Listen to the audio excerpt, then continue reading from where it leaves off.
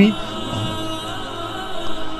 सूर्य बकरा, आयत नंबर 151 ये एहसानात वैसे ही है जैसा हमने तुम में, तुम्ही में से एक रसूल भेजा। अब अल्लाह ताला अपने एहसानात को याद दिला, सल्लल्लाहु अलैहि वसल्लम। एहसानात क्या है? सबसे बड़ा एहसान क्या है? कि अल्लाह ताला ने नबी करीम वसल्लम को हम में भेजा। नबी करीम वसल्लम अल्लाह ताला के तमाम एहसानों में सबसे बड़ा एहसान है। एहसान, अल्लाह ताला का एहसान है, उजमा है, सबसे बड़ा एहसान है कि नबी करीम वसल्लम को हमारी तरफ़ भेजा।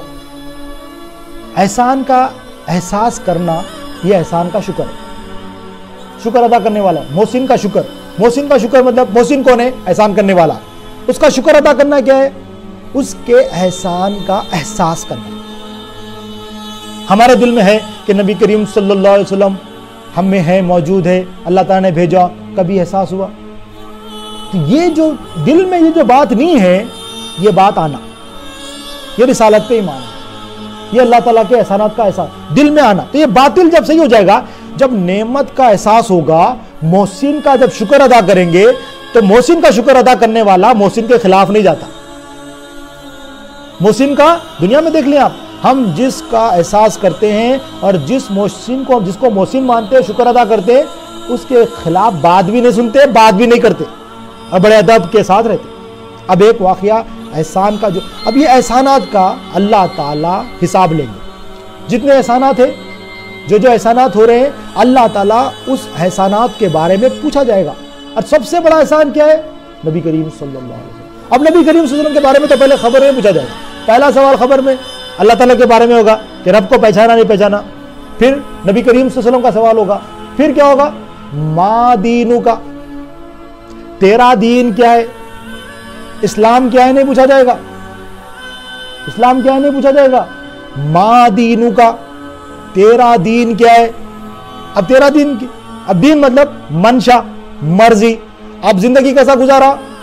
नफ्स की मर्ज़ी पे गुजारा, शैतान की मर्ज़ी पे गुजारा, दुनिया की मर्ज़ी पे, लोगों की, इन्हों क्या बोलते, इन्हों क्या बोलते, खानदान वाले, बीवी, बच्चे, इन्हों क्या बोलते, इन्हों इन्हों इन्हों में गुजारा।